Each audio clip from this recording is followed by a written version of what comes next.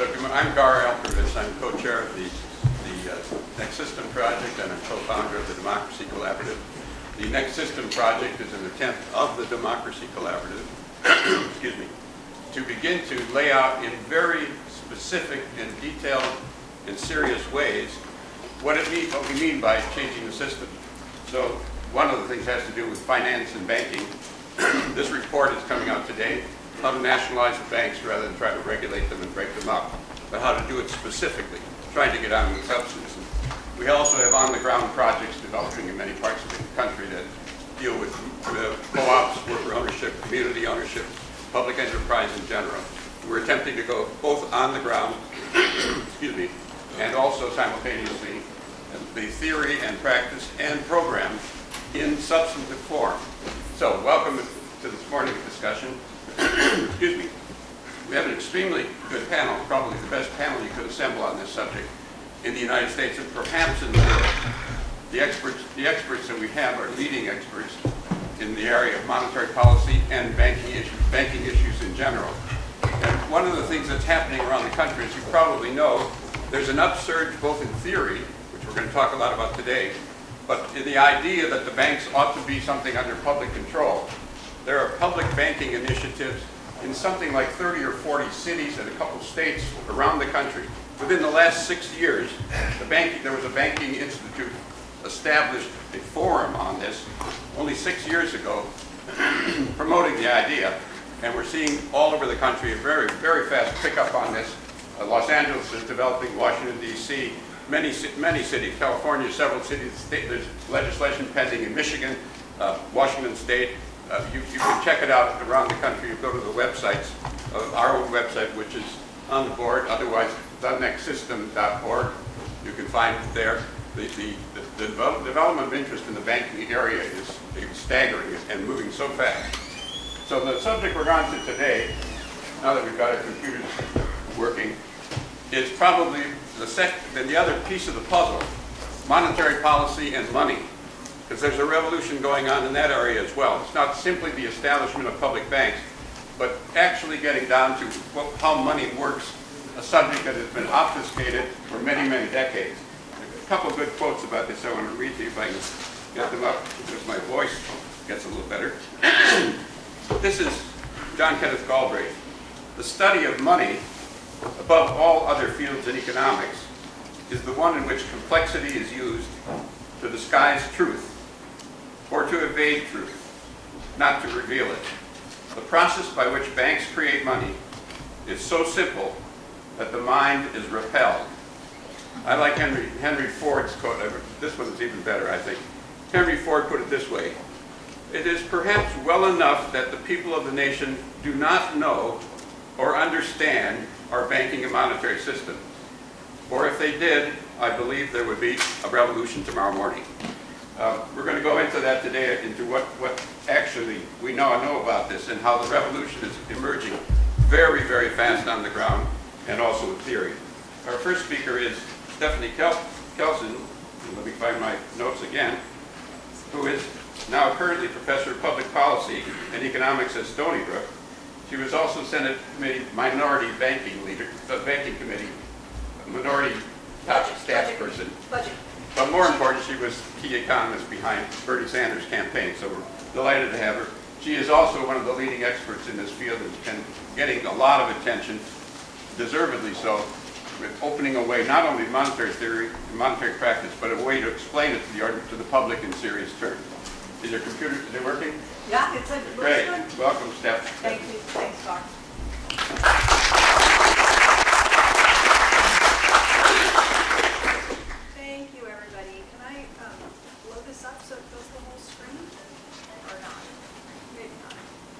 Well, it doesn't matter. We'll get through it. Um, thank you for the opportunity to come back. I was uh, here several years ago. This is my second time at Left Forum. Um, I love coming here because you, the people who attend this conference are so engaged and so fun to dialogue with. So what I hope I can do, since I'm the reason that we're starting late, is to, oh, you can hear in the back. Does this work? Does, does it? Well, you want me to Yes, spend another minute? It's working. It's working? Oh, God. Okay. All right. Well, uh, since I'm the reason we got a little bit of a late start, I will try to move quickly through uh, my slides so that we can preserve as much time as possible to engage with you because, like I said, that's why I enjoy this conference. So um, I'm going to tee this up, I think, for the rest of the panelists here, and I'm going to try to focus my remarks on three broad topics, and I'm aiming at a progressive audience, obviously, uh, but honestly, I give a version of this exact same talk most of the time to conservative audiences. And the response that I get in those audiences, and it would surprise you probably, is extremely positive. So what is it about what I'm going to say that can resonate with both audiences like this and with a very conservative audience? When I say conservative, I don't mean socially conservative or anything like that. I mean fiscally conservative. Okay? So let me jump in and we'll see where this takes us. Uh-oh, I gotta find a way to advance my slides. How do I do that? There we go. So as Gar mentioned, I served, uh, I was actually on the budget committee, not banking. So I was the chief economist on the U.S. Senate Budget Committee for Democratic uh, side.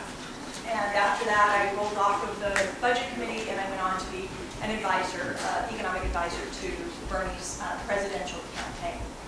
And so I just want to get started with, this isn't an attack on Hillary Clinton or Bernie, I'm going to pick on both of them just a little bit. Uh, but this is just to tell you the kinds of things that progressives are up against when they propose a big ambitious agenda. Okay, so what happened? Bernie Sanders runs for president on the most ambitious agenda I have seen in my lifetime. All right? And in retrospect, looking back, we see Hillary Clinton publishes in her book uh, this a bit of an exchange that she had with someone who was saying, man, it's awful, right? Every time we propose something, he goes bigger. We say we want debt-free college, we want to help make college more affordable. He says, let's make it free. We say we want to make uh, health care more affordable and increase access. He says, let's just make it free, right? Every time we propose something, he goes bigger, and in his email exchange that is included in, in her book, she says, somebody wrote, said, this is like Bernie saying, I think America should get a pope. And Hillary, the responsible, fiscally responsible, right, uh, voice in the room, says, how will you pay for the pony? Okay, so it's the idea that all of this stuff is so grandiose that it's beyond reality. You're out there somewhere, hoo-hoo, we can't afford these things, right?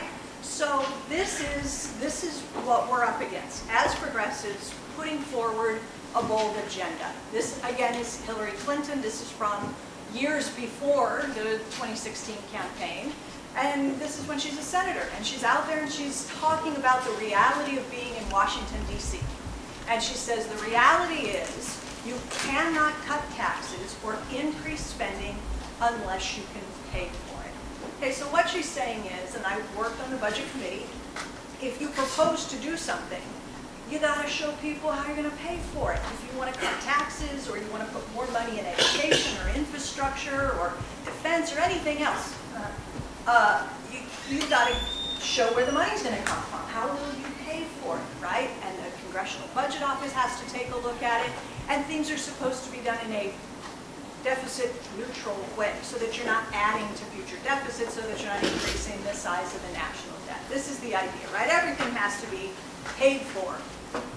Okay, so Senator Sanders gets accused of putting forward a big proposal and not paying for any of it, right? Everybody knows that. That was the accusation. But that wasn't the reality. That's not what he actually attempted. He actually attempted to play by the Washington rules, which are, you gotta pay for the stuff you wanna do, right? So if you go down his agenda, every item on the agenda, you could really draw a line from what it was he was proposing to the source of revenue that was supposed to pay for it all, whether it was Medicare, infrastructure, um, making public colleges and universities tuition free. If you actually looked at what he proposed, it was paid for in the conventional sense of the word. Now, obviously, if you have to find the money, as Hillary Clinton says, then where do you look when you need money? How do you pay for stuff? Who's got the money? Well, obviously, the rich people have the money, right? So it's a natural place to, to look when you're trying to find the money to pay for a big, ambitious agenda. You go for the billionaire class. Or you go for Wall Street, and you say Wall Street will pay.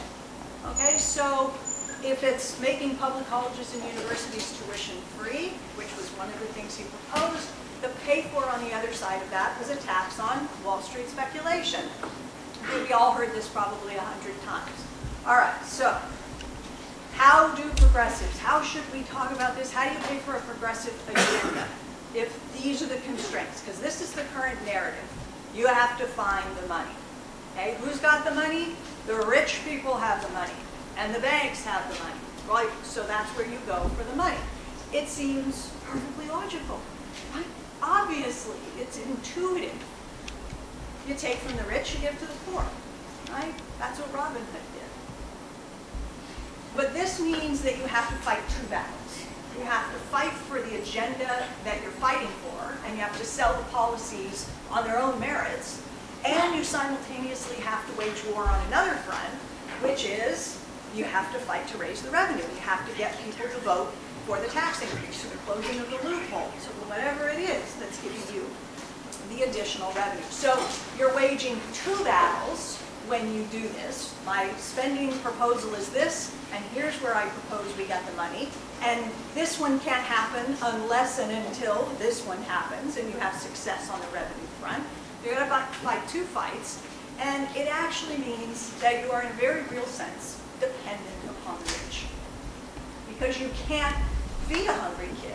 You can't fix crumbling infrastructure. You can't provide health care for all unless and until you can claw some cash away from the people who have it, right? You need their money. It makes you dependent upon the wealthy. So I think progressives should ask themselves, what is the purpose of a tax?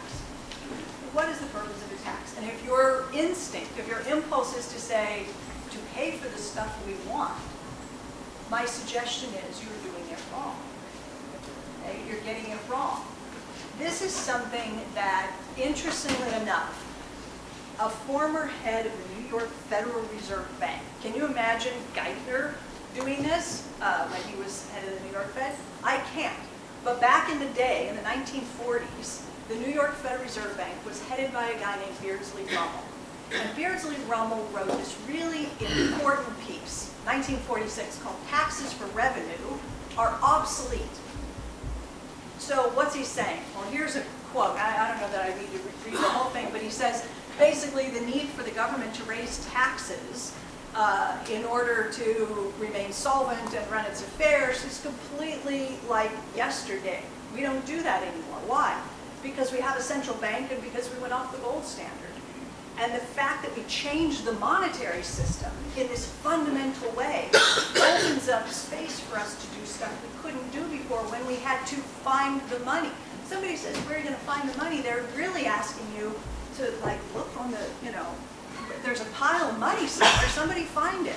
Or, like Robin Hood, there's gold, there's gold out there. We can rob the rich. It's, you're trapped in a gold standard framework when you're operating in this uh, frame of mind that money is a finite thing that exists somewhere, it's physical, and you got to find it, and then you got to go get it in order to spend.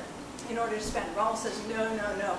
That's not how it works in the modern era. And by the way, modern meant 1940s, right? And we still haven't caught up with this reality. So Ruml goes on to say the purpose of the tax is not to fund the federal government. The purpose of the tax is, well, multifold. One important thing it does is it allows the government to remove some money from the economy so that you don't overheat the economy through government spending. So in other words, taxes help you keep a lid on inflation. If you just spent money into the economy but you didn't tax anything back, you'd run the risk of overspending, overheating the economy, causing an inflation problem. Another thing taxes do is they affect the, the distribution of income. You lower taxes on some folks, they end up with more take-home pay, higher disposable income. You raise taxes on others, you take some money away. You impact the distribution of income. And you use taxes to incentivize or disincentivize behavior. Carbon tax is a good example. You don't want as much pollution, you don't want certain activities taking place, put a tax on it. You want to encourage certain other things, like people driving electric cars, give a tax incentive, right? With some form of a subsidy to encourage that. And the last one is, he says you might want for some reason or another, to have a line item where you can keep track of a certain program, like for example, Social Security or the Highway Trust Fund or something like that. So taxes do a lot of stuff that's important. What they don't do is provide the government with revenue that it needs in order to operate. All right, so go back to this picture. You don't tax the rich because you need their money in order to feed a hungry kid or fix a crumbling bridge. You tax the rich because they are too damn rich. And extreme concentrations of wealth, especially, but also income, are bad for the functioning of the economy, are bad for democracy, right? That's the rationale for taxing the rich, not because you can't do other things unless and until you can get money from them to pay for it. You tax Wall Street speculation because you want to discourage certain behaviors, not because you need their money that you raise from a financial transactions top tax in order to pay for free college. Think it through. Suppose you said, we're going to make public colleges and universities tuition free in the U.S. It's going to cost about $70 billion uh, a year to do that. All right? Now, to pay for it, we're going to put a tax on Wall Street. So every time somebody buys stocks or engages in derivatives trading or uh, bond trading, they're going to pay a, a small you know, a transactions tax. That's our tax. Okay. So now you simultaneously have said you want to break up the banks, you want to make banking boring, you want to shrink the size of the financial sector, and you have made yourself completely dependent upon what in order to fund your education proposal? Wall Street speculation. So not only do you need Wall Street to continue to speculate, but you're going to need them to do more of it over time and grow because the amount of money needed to pay for college is going to grow. So you don't want to hitch your wagon to the very thing that you loathe and are trying to shrink as part of the overall economy. So, but there is a rationale for doing it, right? And that would be to discourage certain behaviors, not to fund programs. Okay, so my argument is that when we think about government's financial operations, we tend to do so with reference to our own. So we think of the government as like a household. I would say, well, I can't go on spending more than I take in year after year and borrowing. I'd go broke, right? Everybody knows. And so we think of the government like a household. This is a huge mistake, and if progressives do it, they need to stop it right now. The federal government is nothing like a household. Completely different set of rules the federal government plays by as compared to all the rest of us. We want to go out and buy a car tomorrow. We have to have the money in the bank or be able to prearrange the financing The car is, dealership is not going to let us drive off the lot with a car until we have secured the financing to pay for the car, right? So what these letters here are, the, the TAB is taxes and borrowing.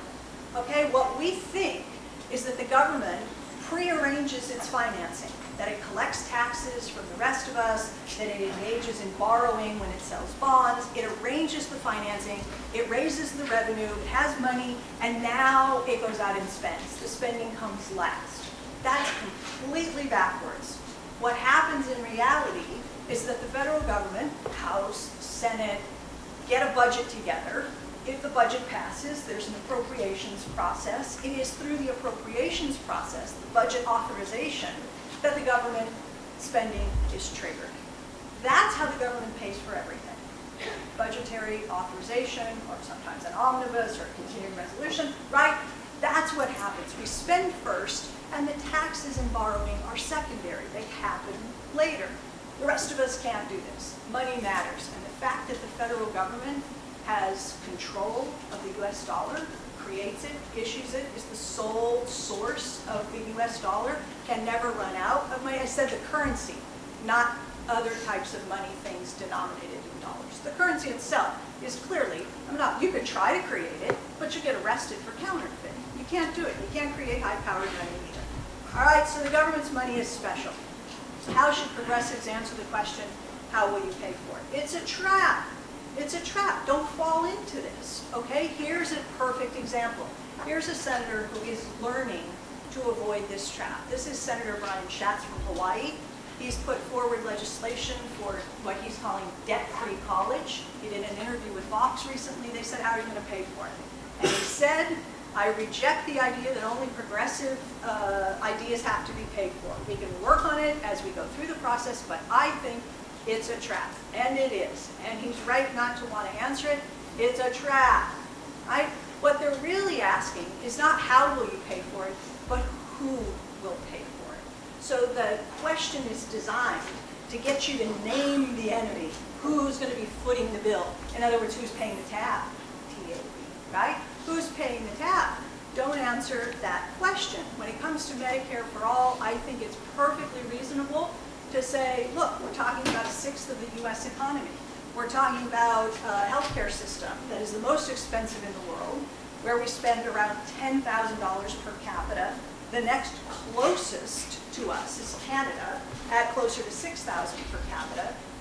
If we move to a, a more efficient healthcare system, uh, Medicare for all or something like that, we're talking about eliminating the middlemen and the entire apparatus that goes with it. It's a huge hit, I think, to the U.S. economy because you're taking all kinds of economic activity and pushing it out. So, I mean, I've kind of half tongue-in-cheek said you might need tax cuts to pay for Medicare for all. Um, the, the bottom line is all this pay-for stuff is built around the idea that deficits are bad. Dr. Evil told us a long time ago that deficits don't matter. Well, it turns out they do, but not the way we usually think about it. Deficits matter, but not because they add to the national debt, burden future generations, and all that kind of stuff create an instability in the economy. Deficits matter because the government's deficits become surpluses somewhere else in the economy. Guess what? Dick Cheney knows it, and the Republicans know it. How do I know that? Because they just passed tax cuts that will add 1.5 trillion to deficits over the next 10 years. Why did they do that? Because they know that when the government is increasing its deficit, somebody else's surplus is going up. And they know exactly whose surplus it is. They're using the budget deficit to channel financial resources people they're trying to help. And the Democrats could be, or the Greens, or whomever, could be using budget deficits to channel financial resources, infrastructure, real things to the people they're trying to help. Okay, so I'm going to skip this. The national debt is a huge bogey, and this is the way progressives, is the last slide. How should progressives talk about money, debt, and taxes? Don't repeat this stuff about taxes paying for federal government programs. It's not taxpayer money. This is the wrong frame. Don't talk about the debt as if it's something that we owe. It's something that some of us own. May have treasuries. Uh, mostly they're held concentrated in the hands of wealthier individuals. And don't talk about government money as if uh, it's something that the government needs to get from us. They're the source of the money. We need it from them. They don't need it from us. So hopefully that tees them up to fill in any gaps in uh, where I was trying to go. Thank you.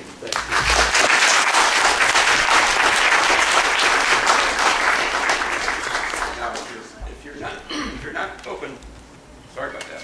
If you're not having questions in your mind now, you should be out of the room because the next step really takes us, takes us deeper. So Stephanie, we're going to have you up here too. Oh, okay. Um, Stephanie's kind of outlining the introduction basically to the argument. The next person is going to give us the next step and the next step and then, and then we'll come back. Uh, Michael Hudson, as you probably know, is a distinguished professor of economics at U- University of, of, are you still at KC? Official, it's on, on the website. Okay. And he's also professor, he's at Peking University as well, and he's also a research fellow of the Democracy Collaborative. Michael is probably, has been on this for a long time. Michael, take it, take it away.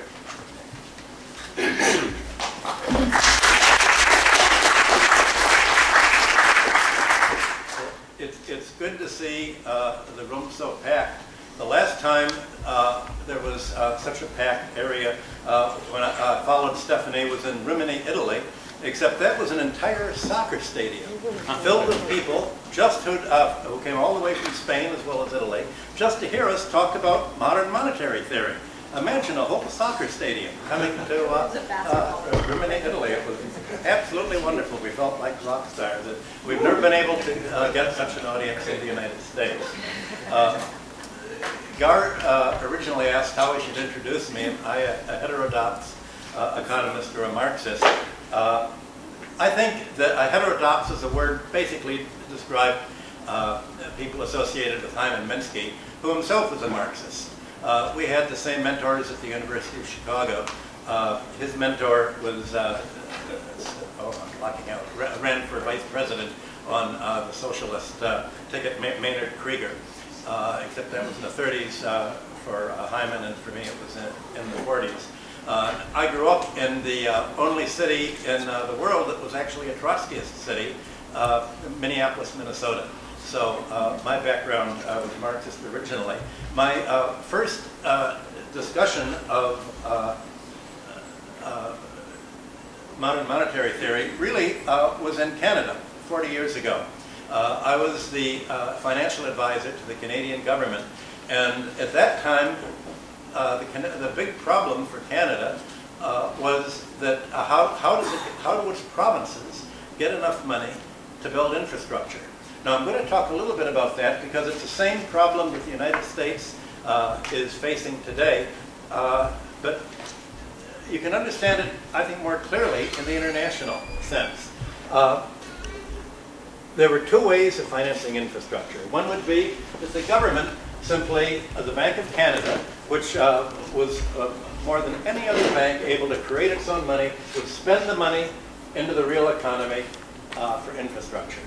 There was an accusation from uh, the, uh, the banking lobbyists, I won't call them the conservatives, they were radical reactionaries and lobbyists for the banks. And they said, look, if, uh, if you uh, borrow, uh, uh, if, if, the government creates the money, it'll have to borrow it and you'll have to pay 5%, 6%. But you can save half a percentage point by borrowing German marks or uh, uh, Swiss francs.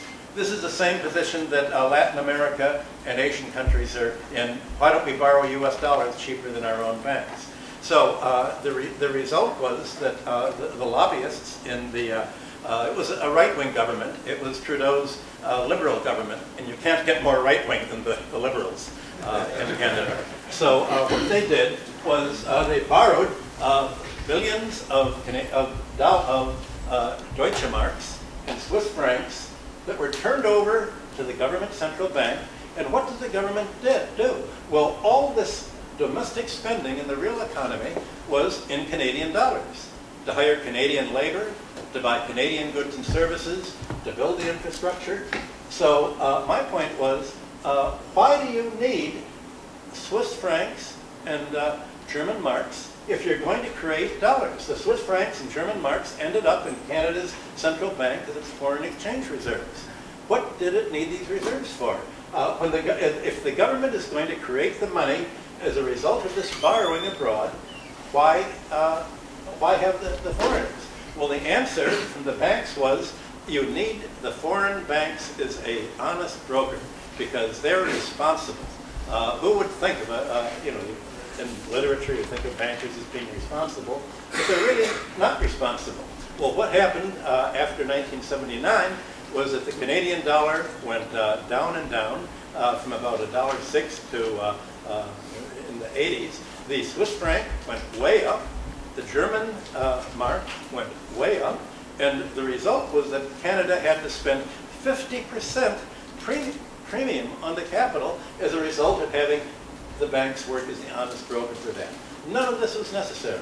The government could spend it into the real economy. The problem is, uh, you saw uh, the chart, the very last chart that Stephanie showed was uh, the government, uh, uh, the government sector putting it into the private sector. The problem is the private sector is not just the real economy. The private sector also has the fire sector. And uh, you're having, you can see today the ability of the government to spend money into the economy because you can see the quantitative easing. A $4.3 trillion. It's not money creation, it's technically a swap uh, of uh, good uh, Federal Reserve deposits in exchange for junk mortgages and uh, the, the altogether 29 trillion of uh, trades uh, with the banks. But you can see the government create bailout money to create subsidy for the finance, insurance, and real estate sector. and this is considered to be non-inflationary. Uh, But you have to ask, what kind of inflation are people talking about? Uh, When they talk about government spending into the real economy and running deficits, they say there will be price inflation. What they really mean is wage inflation. What they want to do is keep wages down. So when they talk about inflation of prices, they really mean living standards going up. We don't want that, do we? Because we call that consumer price inflation. We don't call that rising living standards. And the fact is, there's a disconnect. There's no reason why uh, consumer prices should rise when wages go up. And- There's a disconnect with uh, the large, largest increase in uh, prices that we have today, whether it's uh, housing prices, rent, rents, as you have in New York, or uh, uh, me- medical care. So uh, the, the government is able to create money now for the, the finance sector, but it's being blocked by this patter talk of you can't run a deficit for the domestic economy. Now, what is true for Canada is true is exactly what Stephanie has explained for the United States. Uh, if the if uh, what is the difference in terms of spending into the economy between borrowing from the fire sector? Uh, banks can create money simply on their computers, but even if it's uh, the rich people, if the rich people lend money to be spent, how is that, the price effect any different from the government simply creating the money? The effect is exactly the same. Uh, and that, that's what they don't get, that you don't need uh, to borrow uh, to uh, spend into the economy uh, at all. It's, uh, it's a kind of science fiction story, a parallel universe, as if the governments are somehow dependent on the banks. All, all this developed about 100 years ago, when the Federal Reserve was created in uh, 1913 and 14. Uh, before that, there was a crisis in the United States in uh, uh, 1907. Uh, the Congress had uh, maybe 18 volumes of National Monetary Commission report. And uh, one of the volumes was by David Kinley on the, U, the U.S. Treasury. And uh, Kinley explained how everything that the Federal Reserve uh, has done, creating money, moving around the 12 districts, uh, pumping money into the economy for the autumnal drain when you have to uh, move the crops. Uh, all of this is done by the Treasury. The difference is that the Treasury was controlled in Washington. And uh, I have uh, on my website uh, from an Indian journal all of the documents of how the Federal Reserve was created, essentially to take control of the money supply out of uh, uh, Washington and put distribute it over the uh, the banks in the various uh, Federal Reserve districts, uh, and even to block government membership on uh, the Federal Reserve Board uh, until uh, Roosevelt's time. So you, you have a whole political fight between the fire sector and the government sector, and this, you can only understand this fight by looking at the politics of it. Uh, the, the charts don't help because the charts all make it appear as if uh, we're talking about a force of nature and something intrinsic. Uh, but you, you need a political framework. Uh, and I mentioned before how most of the monetary theorists uh, are Marxists, and I know there are a number here, especially from abroad, who are here. The fact is that Marx was much too optimistic about the financial system. Uh, his volume three of Capital was all about how finance tended to grow and extract more and more from the economy. Uh, the fire sector today uh, essentially funds uh, real estate, uh, it, it extracts rents. Uh, it, it raises prices by, it backs, mon- creates monopolies, and banks don't create money into the real economy, basically. Uh, they create uh, uh, money to buy companies, to buy real estate already in existence. They transfer wealth, but they, they don't really produce. And uh, uh, Gar's, I'm working with Gar's Group to re-describe the gross domestic product accounts. So we actually treat the fire sector, finance, as a subtrahend from GDP, not in addition to it. But getting back to uh, Marx, Marx expected in the late uh, 19th century that the historical destiny of capitalism, he wrote, was uh, to take banking and money creation out of the feudal stage, out of the medieval European stage, uh, and uh, industrialize it, and uh, essentially move towards public banking.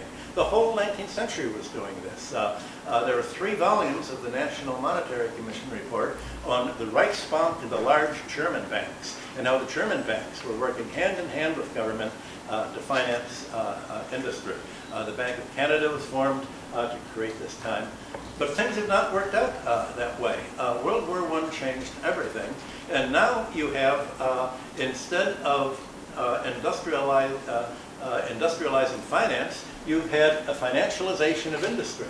So what you're having, uh, instead of the uh, government spending into the real economy, it's uh, starving the real economy. It's uh, ever since uh, uh, Clinton, President Clinton, ran a budget surplus in the last years of his rule, you've had the government with a balanced budget not pumping the money into the economy, as Stephanie explained. Now, what happens when the government doesn't pump money into the economy? That means there's only uh, two sources. One source, okay, is uh, international. You borrow the money abroad in a foreign currency that you'll have to repay at a, a currency risk. Uh, and the other source is, uh, uh, is, is, domestic. I, I just blocked uh, is you borrow from the banks, or you let the banks uh, pump the money into the economy. But the problem is the banks don't pump the money into the economy. The banks only lend, uh, essentially, to, uh, for the, uh, the real estate, uh, corporate rates, corporate loans. they even make loans to corporations to pay dividends. The money is paid, essentially, the beneficiaries are the 1% or the 5%. So the real question of uh, the, uh, the budget deficits or modern monetary theory is who is to get the benefit of the money? Will it be the 1% or will it be uh, the 99%? And the answer can be in tracing uh, the flow of funds and the flow of funds, uh, who gets what, uh, it will make it very clear. Who gets the result of the government spending and forms that do not take the form of a deficit, or if it runs a deficit, is it into the real economy or the uh, fire sector? So I need you need to you need to divide the uh, private sector into fire and into the uh, industry, agriculture, and in infrastructure.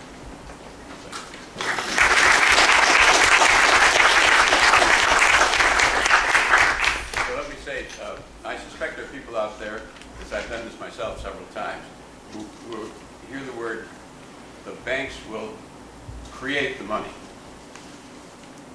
And that doesn't ring straight for most people, that you that money is actually created. Now, of course, if it wasn't created, nothing could move. Or that the Federal Reserve Board creates money. Or that spend, the government spending creates money. Those questions are, are, I'm sure, going to hang in the air, and to which modern monetary theory has, it, has the answers.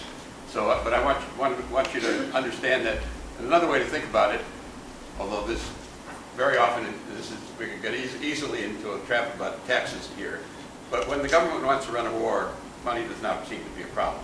It creates money when it wants to, and it happens to tax back some of it if it likes to. So, by way of comments, from having, having talked to a number of folks on the word create kind of gets in the way sometimes for non-economists.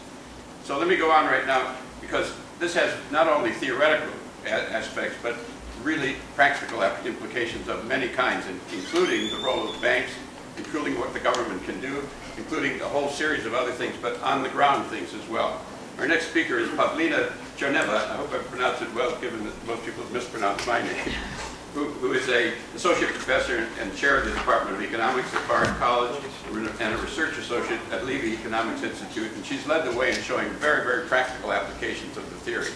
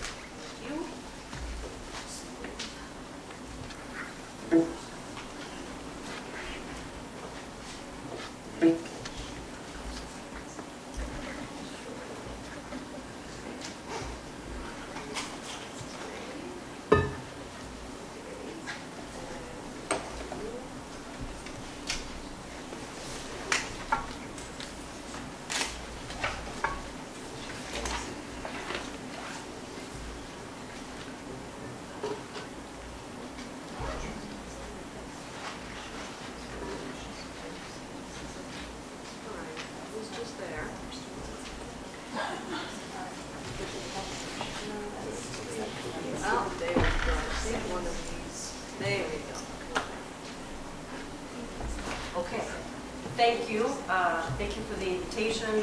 It's also my second time in the forum, and I also enjoy very much the conversation here.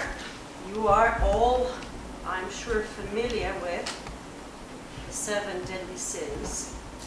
So today I would like to address the seven deadly fears of economic policy. Um, And mostly I'd like to address the issue of how to face those fears and how to defend a progressive agenda, whatever that may be. Um, The policy proposal that I've been working on for 20 odd years is an employment program that has become known as the Job Guarantee uh, Program and has recently entered the mainstream uh, conversation. A number of uh, senators and representatives have endorsed the program. There are lots of versions of the program out there. Um, But uh, it is, it is uh, a recognition that the government has a responsibility to do something about the persistent uh, problem of unemployment. So what I'd like to do today is basically address some of those seven deadly fears because as uh, the program has been discussed, there's a lot of response both on the right and the left, and a lot of it is quite alarmist, frankly. And so I'd like to ease our fears by um, addressing, uh, uh, addressing each one of them. So first, what is the job guarantee? How many of you are familiar with the, with the proposal and what it is? Okay, a good number have heard of it. Normally what I do is I, uh, like, I, I, I talk about the proposal and I discuss its merits. Now I'm going to hopefully give you ways of responding to some of the criticisms.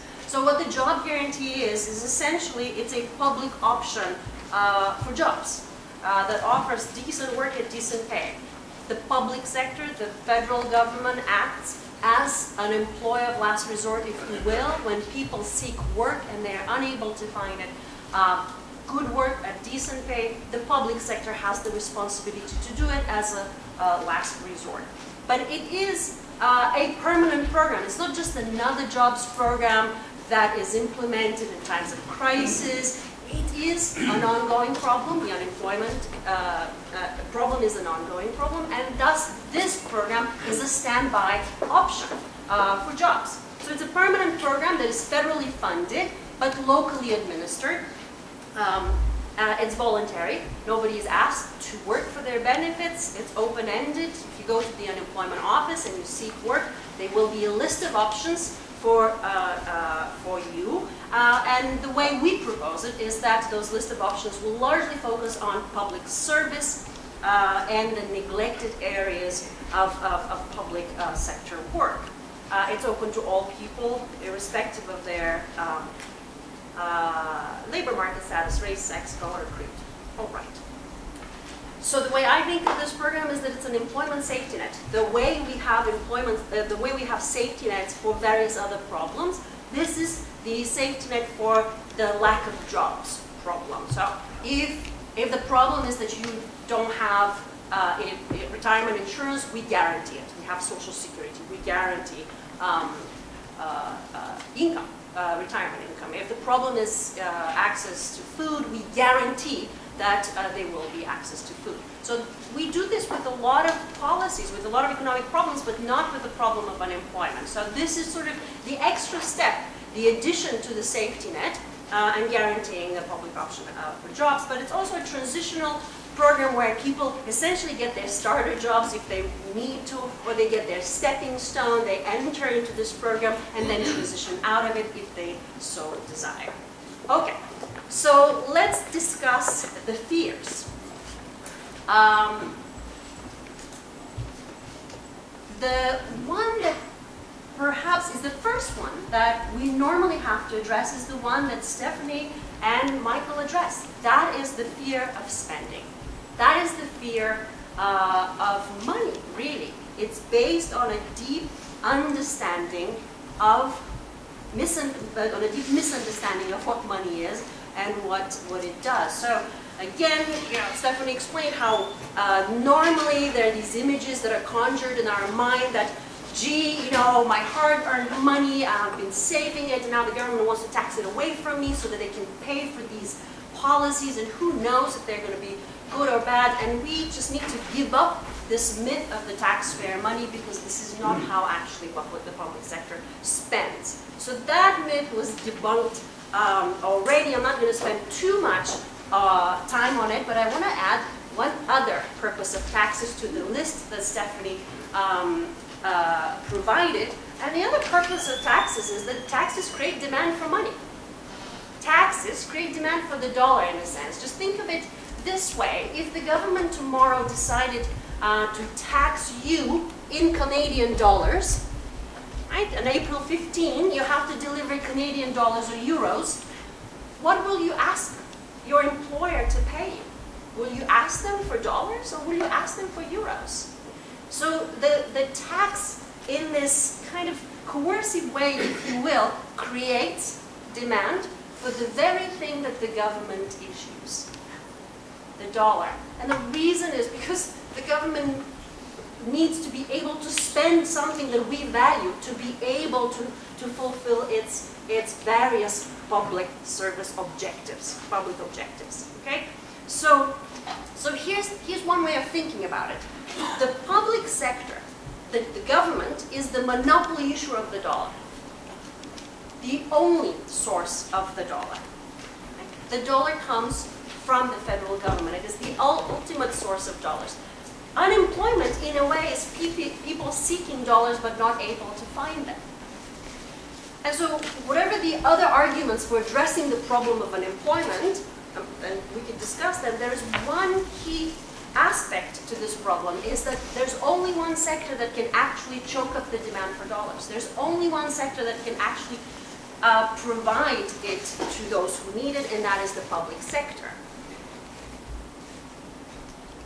Another piece to the story is that the unemployed are already in the public sector. We are, the, the government is already responsible for uh, the unemployed. We do the right thing. We, you know, we provide unemployment insurance as inadequate as it might be. We provide various other income support, even though those programs are also sort of underfunded. But we, we have this uh, understanding that we have to provide for people who don't have um, you know, access to decent employment or decent incomes.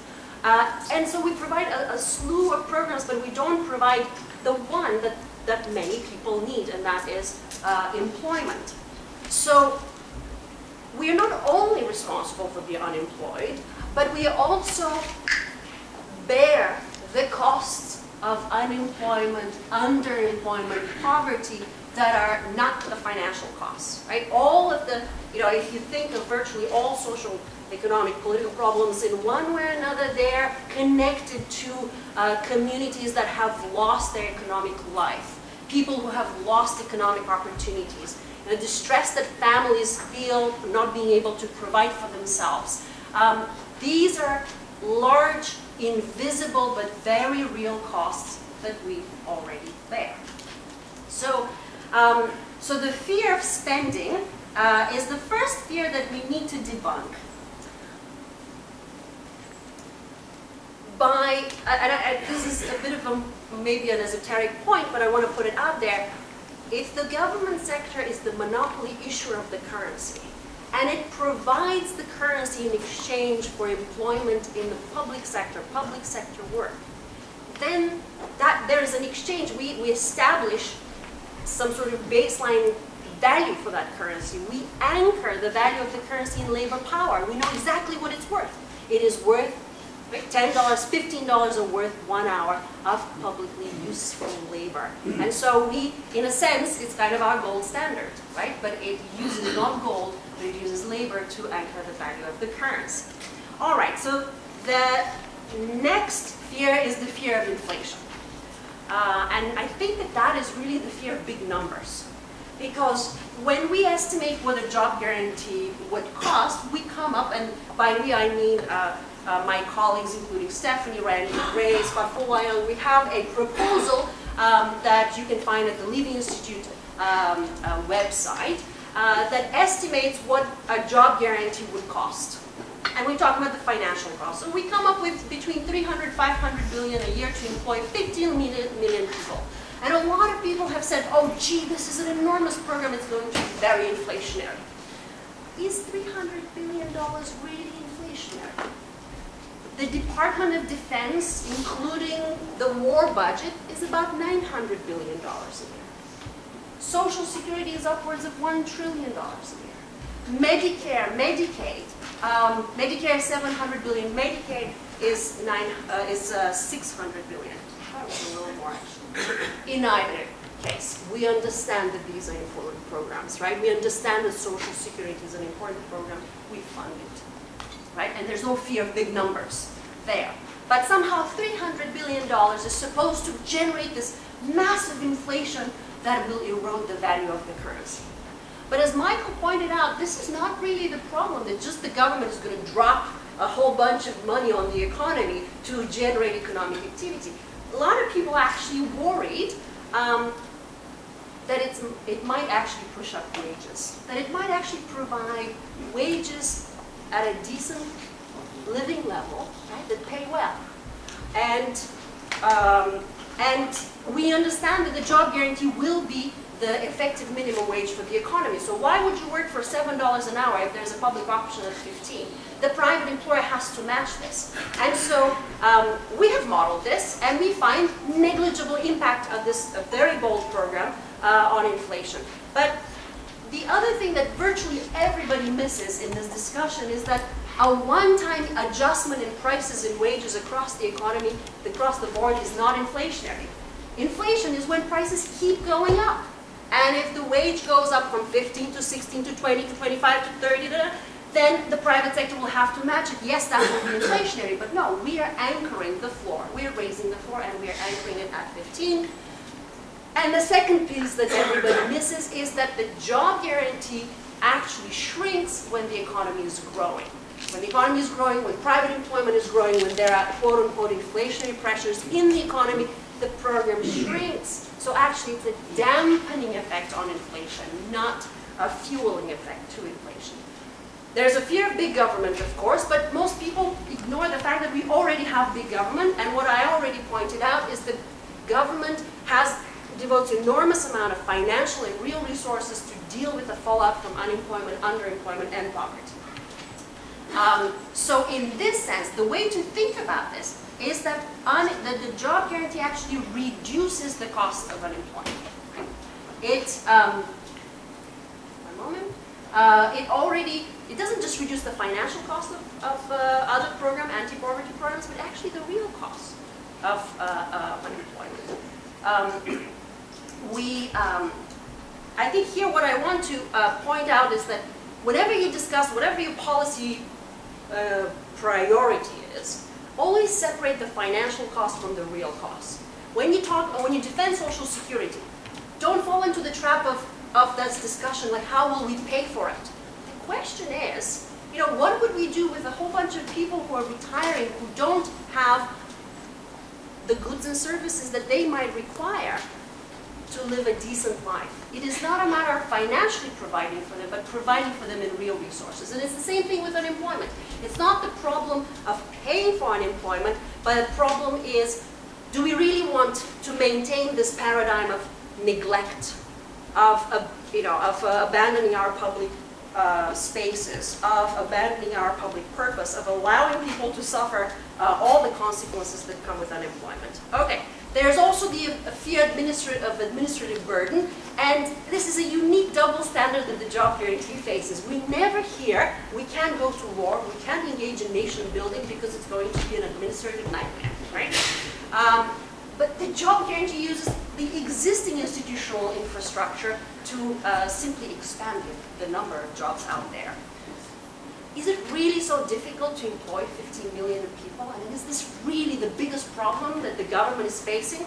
Well, public education serves 50 million students. Nobody is saying we got to take it away because it's an administrative nightmare, right? Um, Social Security, 56, 56 million people. Medicare, 44 million. Medicaid, 70 million. Yeah, it's easy to send a check, but all of this involves a fair amount of administration right? And we don't, we don't discuss these, um, I still have two more fears. Fear of boondoggles, right? This was the fear during the New Deal that somehow the government is going to, you know, create bad jobs. Well, just go to the Living New Deal map and you will find what we did and the legacy that we left. Fear of waste. Oh, gee, you know, it's just boondoggles, right? That's sort of an extension of, of, of that argument. Don't fall into the trap of the productivity. You know, it's, it's, it's a, the, you know, what's the productivity of these jobs? It's a natural impulse to say, but what will people really do? And I can give you a very long list of what they can do, good, useful jobs. But the way to answer this question is, what is the productivity of the unemployed today? Right? This is negative productivity. You know, you have malnourished children that go to school because their parents don't have income to provide for them. That is the productivity you are wondering, you need to be focusing on. Yes, there are people who are arguing, even on the left, that artists and actors are really not productive jobs. We disagree. We believe that we have to support even those things that are not sold for profit. All right. And finally, the fear of political revolution. This was raised by Robert Samuelson in the Washington Post, and he says, imagine people who work in the private sector who suddenly realize the public option provides Medicare and childcare and they don't have it. This is going to be enormously disruptive to the business as usual model. Right? Well, look, uh, in, in IT, disruptions are considered great, right? Progressive. But in public policy, disruptions are awful, terrible, right? So this is a defense of the status quo. It is a defense of a model where firms are only profitable when they pay poverty wages. We don't want to defend this model. We want to disrupt it. Finally, I think all of this amounts to fear of change, but, but Americans are not really so afraid of it because uh, a recent survey showed that the job guarantee had overwhelming support, and even in deep red states, 70, oh, upwards of 70% of, of respondents supported it. And the last slide is the great expectations. Those of us that have been working on this project are very encouraged, excited that it is in the mainstream, but my cautionary note is that we put way too much on the shoulders of the job guarantee. We have had decades of neglect of the public sector we have enormous environmental challenges. And we are suddenly putting all of these problems on the shoulders of the job guarantee and saying, hey, look, see, this is the program that will solve these problems. It will not. This program provides jobs for all. This program helps the progressive agenda. It's a very crucial piece of the progressive agenda. We can, we can have countless of green jobs that we can do, but we need so much more than that. Um, we can help the fight for 15 because that's what our wages. We can pay, we can establish a paid leave for all because that's the public option. We can establish childcare, Medicare because that's the standard of pay. So once we shed the seven deadly fears, the only remaining question is, if not now, when?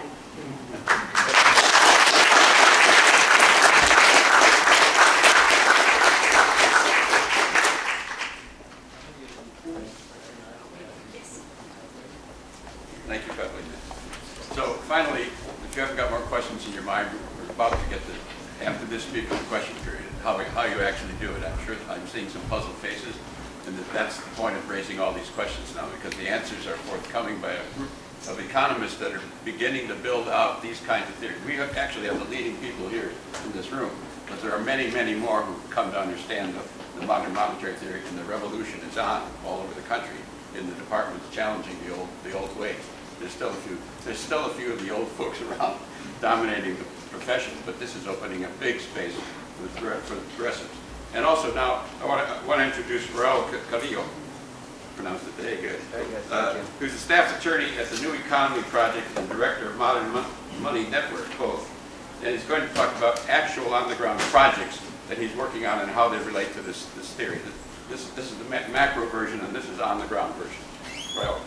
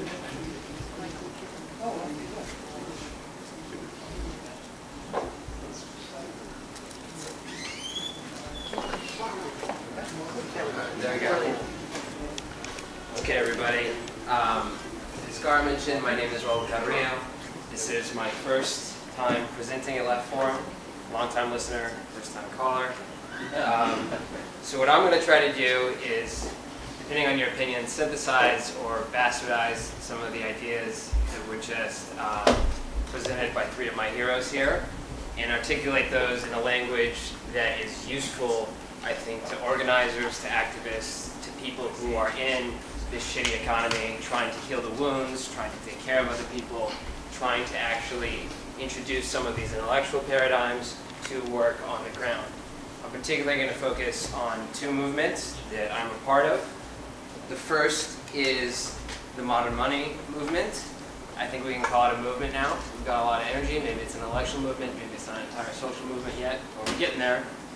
And I'm affiliated with a number of modern money organizations, but principally the Modern Money Network, which um, a few of us started several years ago when we were law students at Columbia and met up with activists, some of whom are in the room today.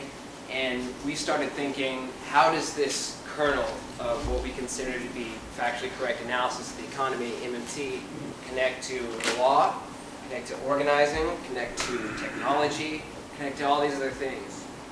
How can we build bridges? How can we create packages that are useful for activists and organizers to use?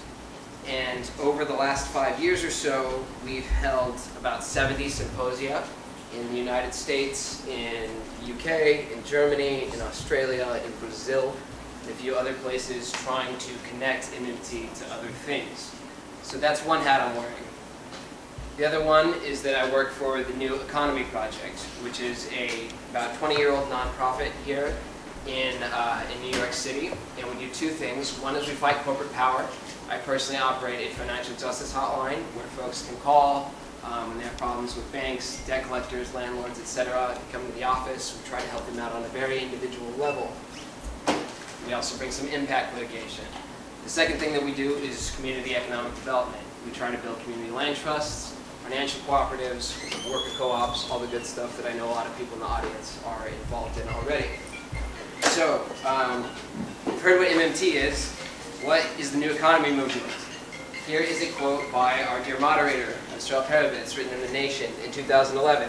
The essential idea is we're trying to move out of capitalism, but we have a very, very strong focus on environmental sustainability. The production system, um, with fire on top of it, as Michael mentioned, is cooking us. How do we get out of here? New Economy Project has a particular focus on something called the just transition, which arose in the 80s and 90s. And the idea here is that we don't just want to go to an economy that's more sustainable. Along the way, we want to heal some of the wounds that have been caused. We want to help people who face the biggest threats from ecological disaster. That means a particular focus on racial justice, gender justice, all the various forms of social justice that need to come along with the push to an environmentally sustainable world.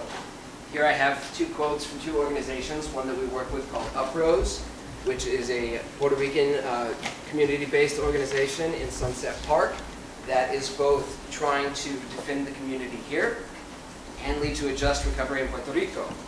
The second um, little letter over here is really just a point of personal pride.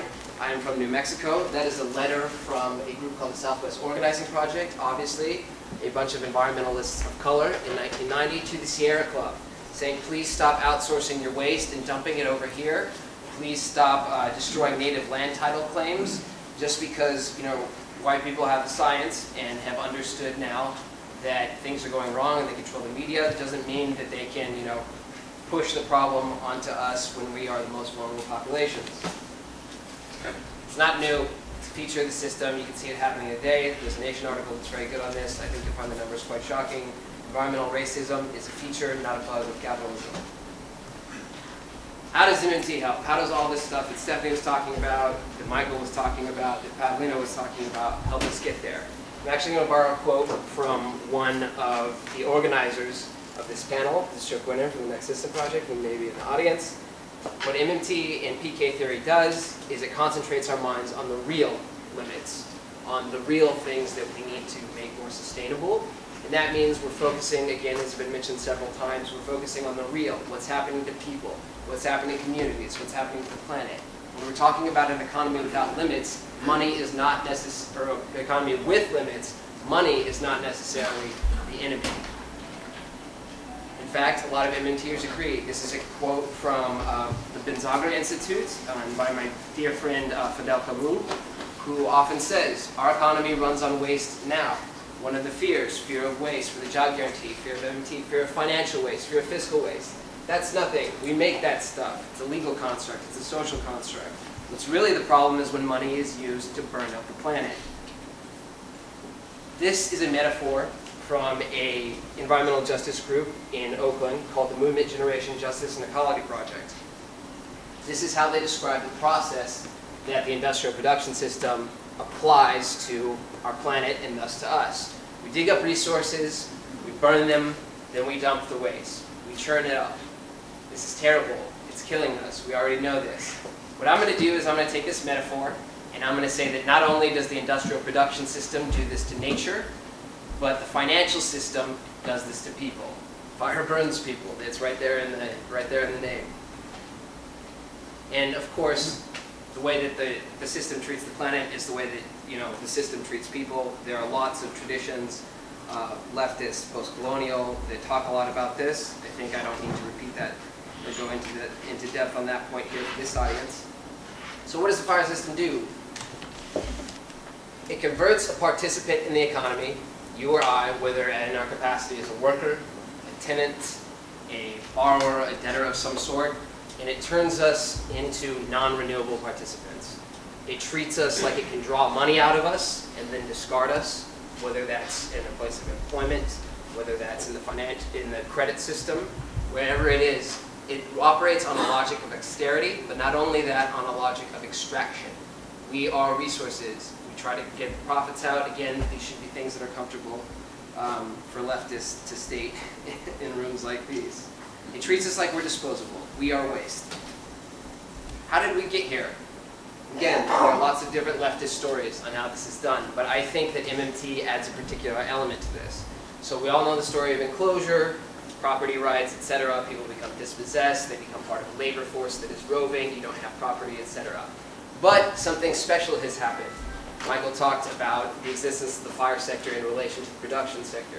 We can't work just for biophysical resources. We can't just find some land and you know grow some food, even if we wanted to. We have to pay taxes. And by taxes, I think I mean something broadly. We talk about taxes in a strict sense sometimes with MMT, what we really mean is any kinds of fines, fees, obligations from the state. That means the fees you get for walking while black in Ferguson. That means, you know, student loan interest. That means a wide variety of things. But the point is, the system is set up so that we have to get money, and people take advantage of that. So now capitalists are not only trying to control the means of production, they're trying to control the means of the means of production, the fire system, as well as the industrial production system. Why does this myth persist? why does, excuse me, why does it, how does this system keep going? It acts like the money comes from the users, from the resources that are being used rather than from the system itself. We talked about the taxpayer money frame, how that's particularly harmful. When you think that the money to keep the machine running has to be extracted from people, you get some really terrible political dynamics. And uh, this picture is actually from an article in Splinter News written by myself and Jesse Myerson, which talks about how the taxpayer money frame has been racialized how it's been um, used to hurt women and immigrants especially. You can read more about that online, but it's been covered here, so I'm going to try not to spend too much time on it.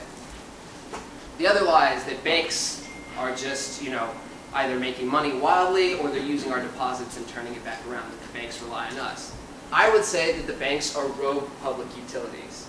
They have been chartered by the government, licensed by the government, regulated by the government, and they're out here not doing their job, as Michael said. And so when we talk about pushing them to do particular things, we have to recognize that it's even worse than we thought. They're powerful. They have the money power. They can create and generate credit at the point of at the point of lending, they can do a wide variety of other things that are very, very terrible. We can get into that later. If someone in, in the in the audience wants to ask me a question about divestment and what MMT means for that in banks, I'd appreciate that because we probably don't have time to get there now. All right. So austerity makes room for financial extraction, as Stephanie said, as Michael said. If the government is not putting money into the economy, the banks are controlling the borrowing process. And we're all gonna die if we don't stop it. All right. Again, been covered. Money doesn't grow on rich people, not on wealthy taxpayers, not on banks. What we want to do is get the money power away from the banks, away from rich people by making claims on the state. We've got that big, you know, we get that giant piggy bank, call it what you will. Money can come out of the state. Monetary sovereign means that you can spend on people, on planet, on communities. The way that we stake our claim and make the state do that is we establish rights to the things that we want. Then the dynamics for fiscal spending become we pool. We pool money out of state coffers depending on how much we need based on each eligible individual, instead of waiting for whether it's, you know, whoever in Congress, rich folks, to write that check. We change the dynamics. You notice Social Security funding, it's met by how many claims there are. It's not met by setting aside a particular amount of money. There's a whole trick that happens with payroll taxes. We've talked about that. Stephanie and Kathleen and Michael talked about that a little bit.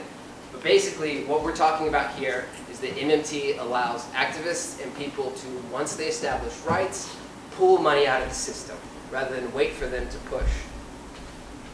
So, what does that mean for activists, for organizers, for leftists? Left wing, right wing. Fiscal responsibility, doesn't matter. Stop that. That's for right wing people. This is what matters. We're establishing rights, we're marching for jobs, we're marching for various other freedoms, we want the entitlements. Fiscal austerity is the enemy, even though we might want to be austere towards nature and other you know, sorts of respects. On banking, this is my homie, Shawn Sebastian, the leader of Fed Up, right over here, arguing for a more democratic Federal Reserve.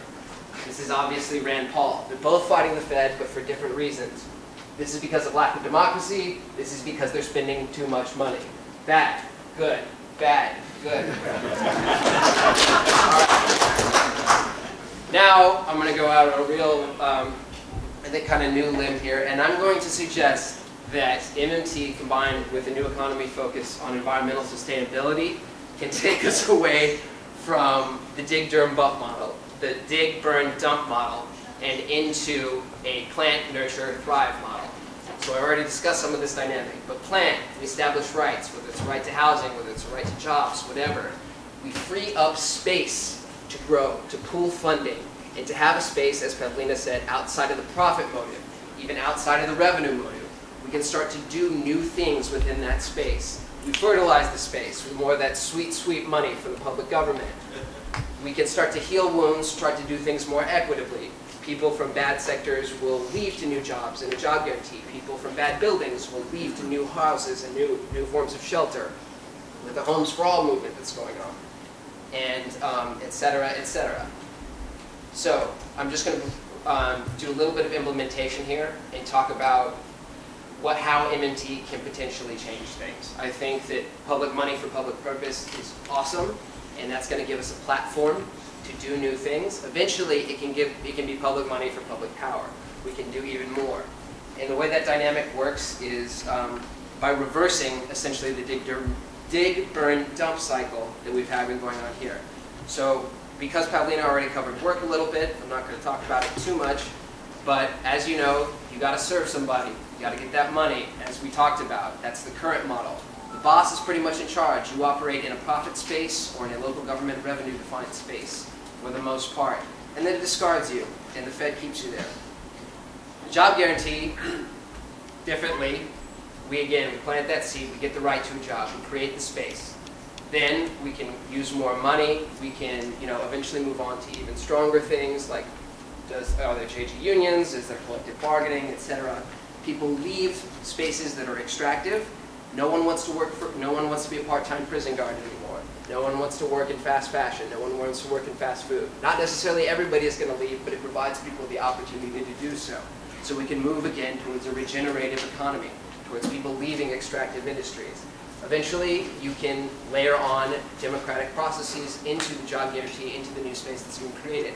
Um, my friend Alexander Kolokotronis, who um, is a political scientist, has written a lot about how participatory budgeting, sortition, and worker co-ops can be folded in the JG. The Levy Institute proposal itself leaves some space for worker co-op development and suggests that it can be contemplated within the next job guarantee movement. These are my friends at the Cooperative Home Care Associates, Association. Pavlina was talking about, you know, how there's all this fear that what are people going to do? People who have no skills can't like, you know, get jobs, etc. The biggest co-op in the country is not a granola bazaar in San Francisco. It's a bunch of Afro-Latino women in the South Bronx, and they've been doing this for 20 years. A lot of them would be considered low skilled. They make it work. I think we can all make it work. Just a little bit, two more examples of implementation, and then I'll, I'll be, I'll be out of here and I'll be, try to do this quickly. Extractive finance and housing, again, dispossessing people, whether that's through the initial, you know, capture of land, et cetera, whether it's gentrification, and, you know, people moving into Queens and Brooklyn, et cetera. The landlord is in charge, the landlord kicks you out, the landlord doesn't like you, the landlord segregates people, you get redlined, you get gentrified, you get surveilled by all these crazy consumer reporting systems. And then the threat of homelessness keeps you in line. This is true even for the middle class who is in, enthralled to the banks, if not to landlords. With MMT, what does it look like? You establish a right to housing, that not necessarily all MMTers believe in that, but, but I do. The point is that you can establish a right, create the space. Once it's guaranteed that everyone gets this thing, now you have room to maneuver. The rights pool the money down to tenants. You can have social housing projects, et cetera, et cetera. Then you can start doing things that are more democratic over time, community land trusts, mutual housing associations. These things can all be contemplated once we have the funding, the public capital, again, that sweet, sweet fertilizer. These are my friends in um, East Harlem, where New Economy Project is helping to build a uh, community land trust, where you take the land off the market, the residents own it. These things can be helped by MMT. Finally, financial services. So, um, everybody's familiar with the access to credit narrative. I think that that in and of itself is like a problem that we think that people don't have enough loans. What we really want is people to get more money. We want people to get money from the state in form of benefits. We want people to get higher wages, whether it's through a job guarantee program or something else. But in the instance that people need credit, right now they're beset with a bunch of predators, whether that's payday lenders, whether that's banks acting terribly, whether it's this new fintech stuff from online, which actually turns out to be just as predatory as the analog version. Um, but so what you can do with an MMT framework is again establish public infrastructure, establish rights. You can do some forms of postal banking. You can do public banking. And then from then on out, um, you know, the threat of you having to go to a payday lender is gone. So you have room to maneuver, again, political room and fiscal room. And you can start doing things like complementary currencies.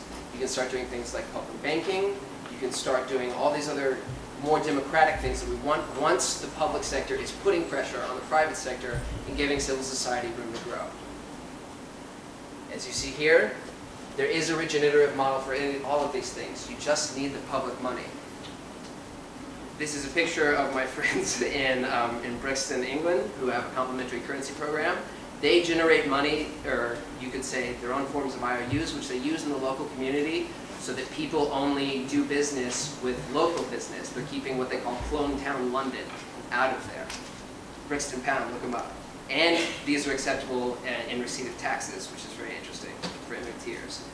This is a credit union that was um, built in the remnants of a bank that was destroyed in the 80s. We work with them. It's real. You can do this. They had public funding. They had CDFI money from the federal government. We can have many more of those. And finally, Gar mentioned the public banking movement. This Tuesday at noon, New Economy Project and the coalition of other grassroots groups are launching an effort to create one here in New York. And the idea there is that, yes, the public, the public bank will generate credit to lend to democratic enterprises. Ideally, we'd want federal money. Federal money's not coming right now, but this is something that is powerful, that municipalities can do, and in the process, we can highlight lot of what money really is. It's a public creature that should be used for the public good, and we can do a lot of political education with this, as well as um, deliver real material healing help to organizations throughout New York City. So if you're interested in all that, you can join us at 12 p.m. I'll be there with a megaphone right in front of the New York Stock Exchange. And public money for public power. Thank you.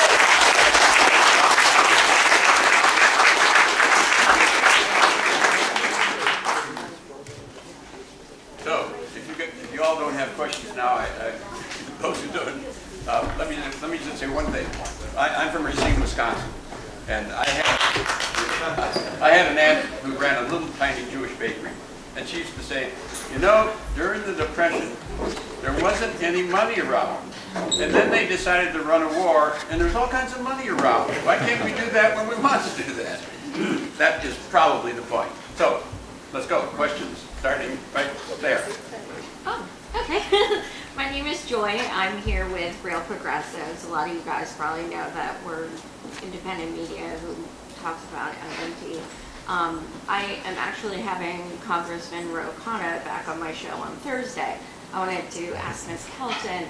Um, I know that the article came out recently about Ro's new FJG plan, and, and you were quoted. I'm just kind of, um, for our viewers who are watching, can you just kind of explain what your thoughts are on that? Because I really, you know, I'm gonna discuss it with him for sure on Thursday.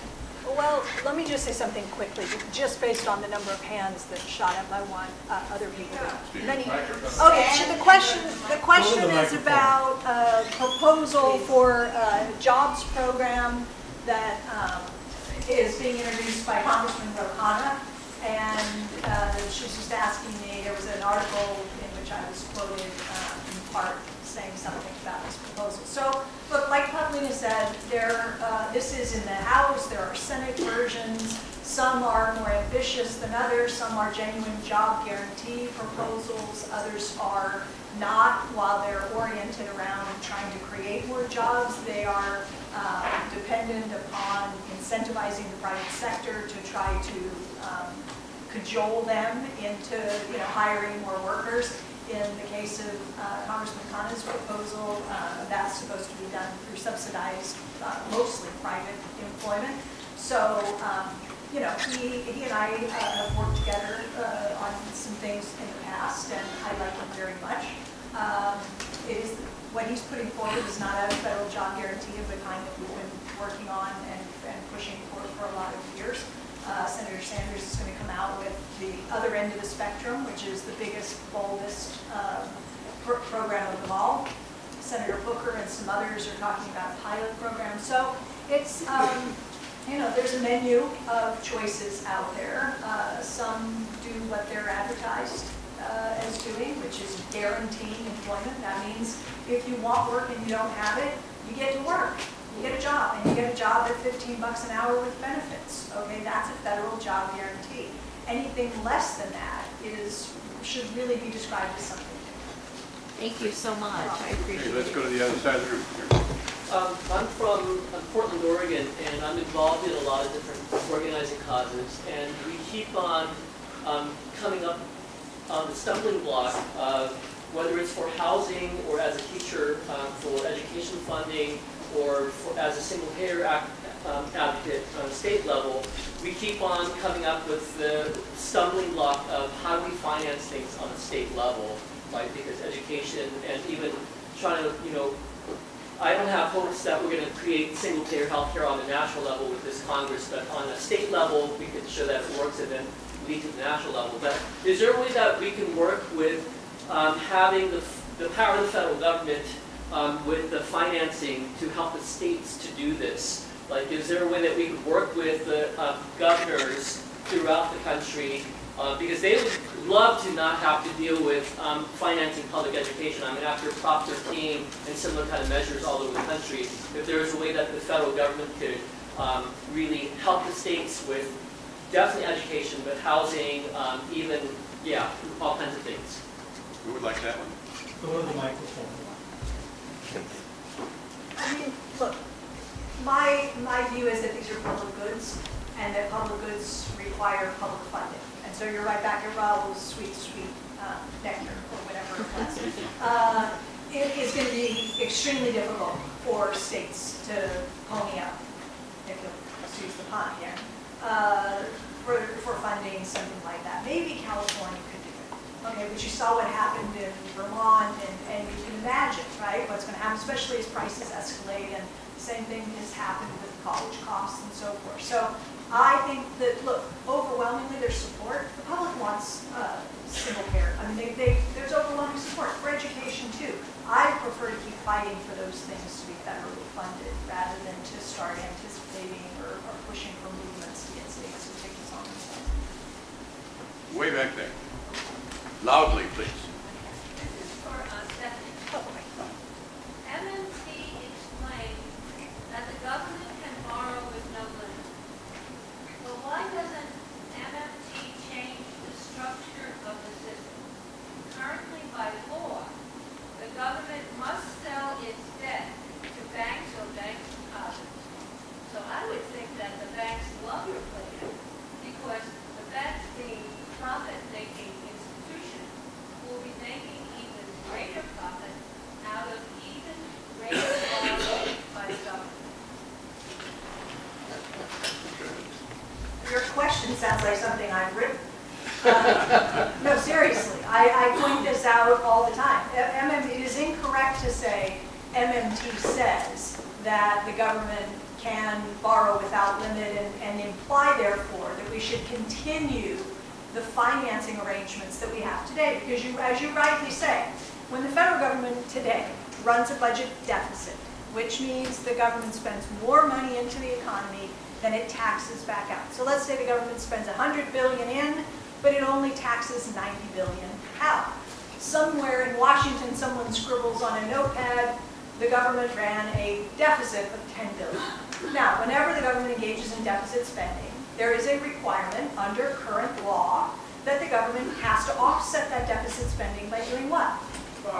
Borrowing, offering bonds. So now I put 100 in, I take 90 out, I leave behind 10 in the economy. Now I hold up treasuries, and I go, who wants these instead of the 10 I just spent into the economy? And lo and behold, someone out there would rather swap the 10 in cash for the 10 in US treasuries. Why? Because I'm offering interest on these. The question is, why am I doing that? Why am I doing that? This is a pure subsidy. I'm offering to swap out your cash, which is non-interest bearing, uh, non-interest bearing, and replace it with this interest-bearing alternative that is the safest, most liquid financial instrument in the global credit system. And you get interest, and you don't have to take any risk. So I say all the time, why doesn't anybody ever suggest not doing that?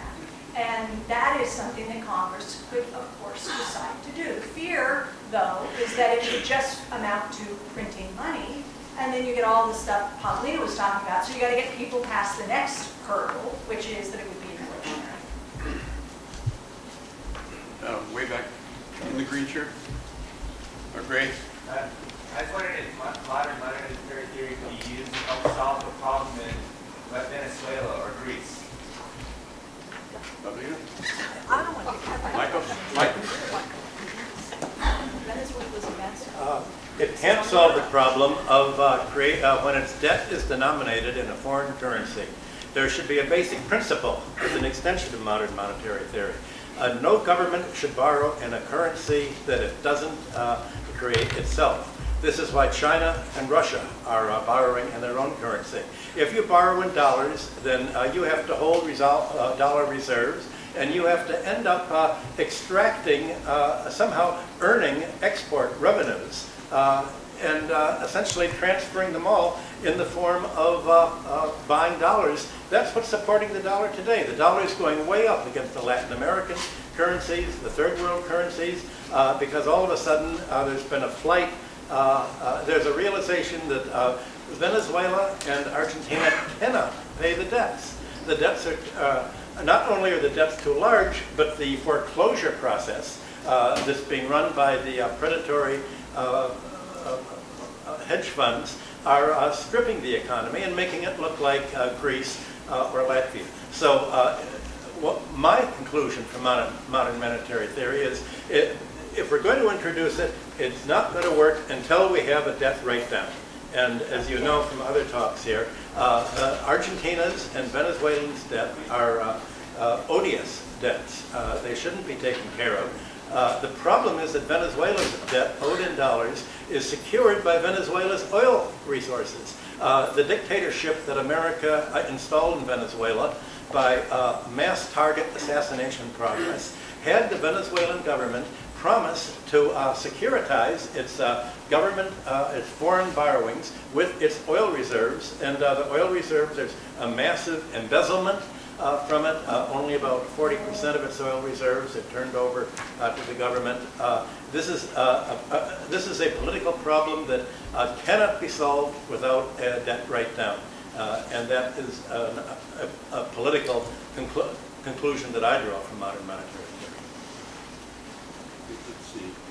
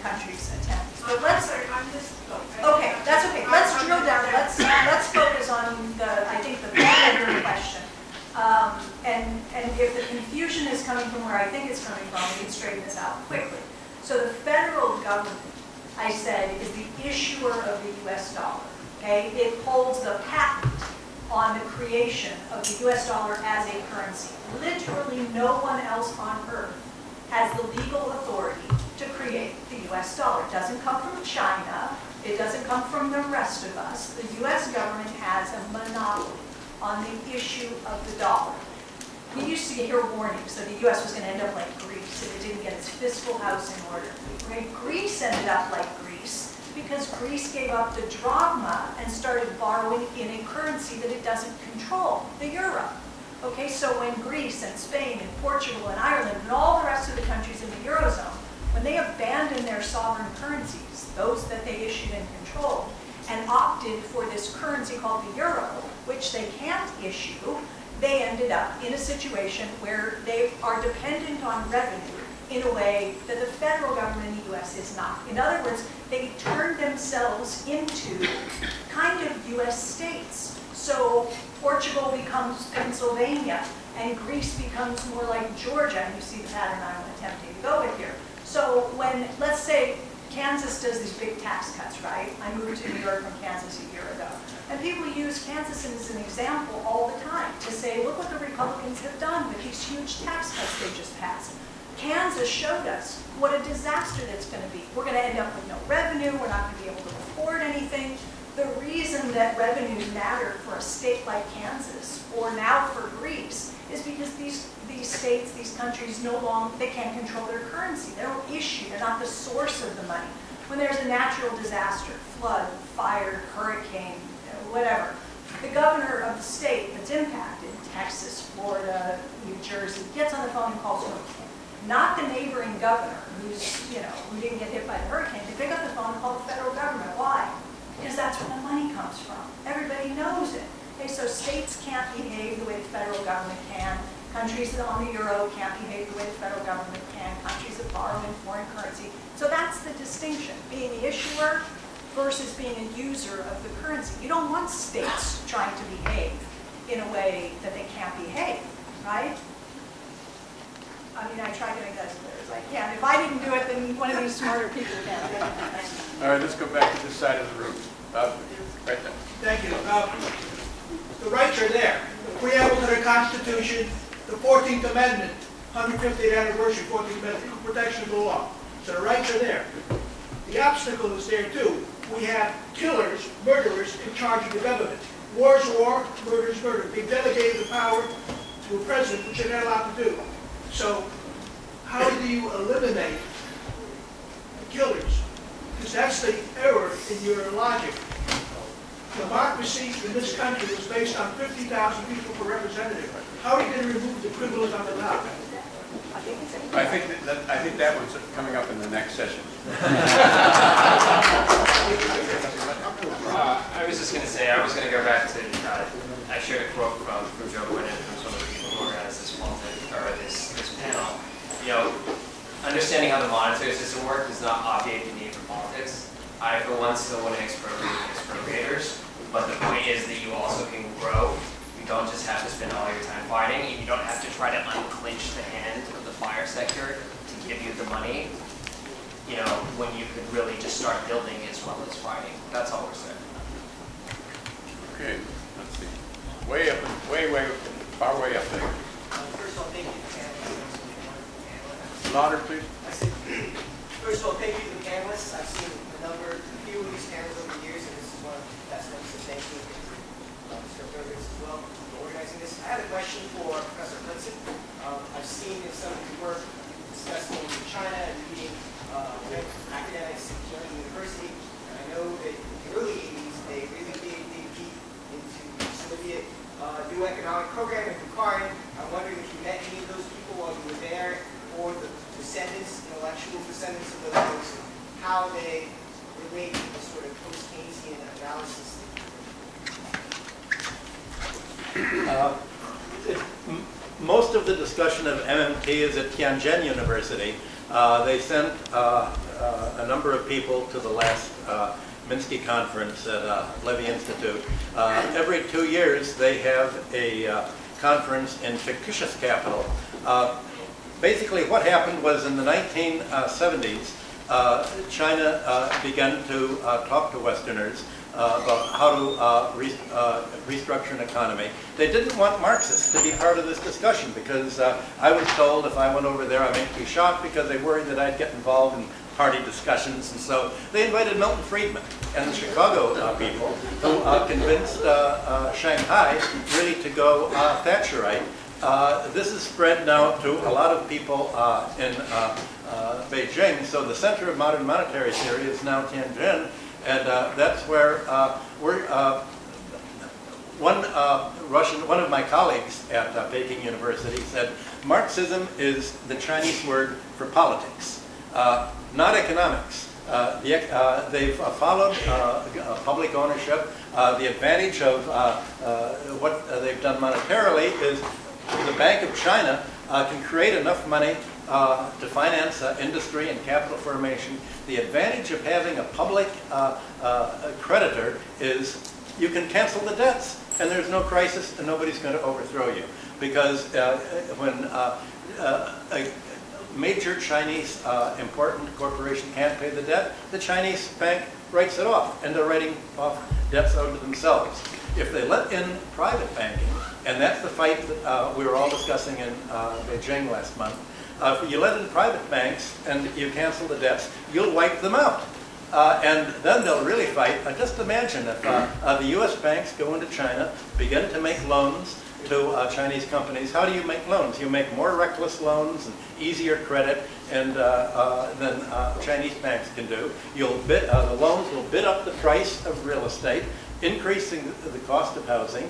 Uh, and then uh, uh, if China writes them down, the bank, you can imagine, the American branches of uh, the banks in China will go under and you'll wipe out the American banking system. Uh, I thought that if this is their plan, you know, I, I'm all for it. Uh, they said, no, no, they, they haven't thought of that. Uh, so uh, again, it's a political discussion of just how you're going to do it. Okay, I'm looking for a que- a question from Pavlina. Anybody got one? Yes. I need some help Uh, We're the International Trade Education Squad of the Park Slope Food Co-op.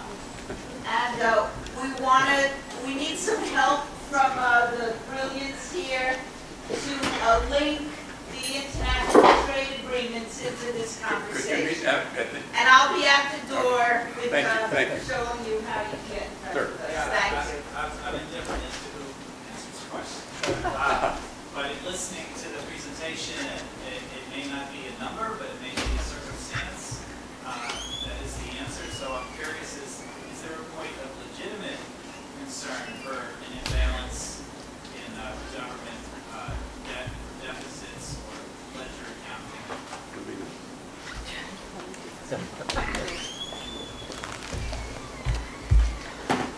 What we're trying to stress here is that the number is not the relevant focus of policy. What we want to shift the focus to is to how we spend. Maybe it is, maybe current number is incorrect. We, we, we don't know.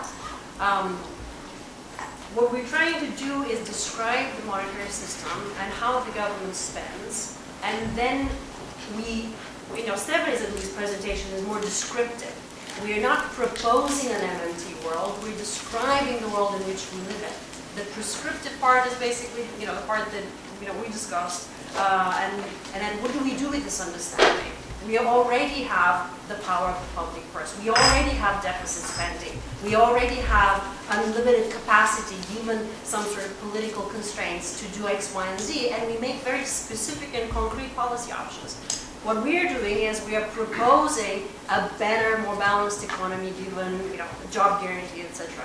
Um, I mean, the one thing that I would say is to the state, the, the person who raised the question about states, the job guarantee is a federal program and that helps states uh, enormously. States spend an enormous amount of money on anti-poverty programs and uh, these programs we know from experience have very big multiplier effects. So you should expect that budgets, states' budgets are going to improve, that their anti-poverty programs are going to shrink, and more tax revenue is going to flow into the state's coffers. States depend on taxes, unlike the federal government.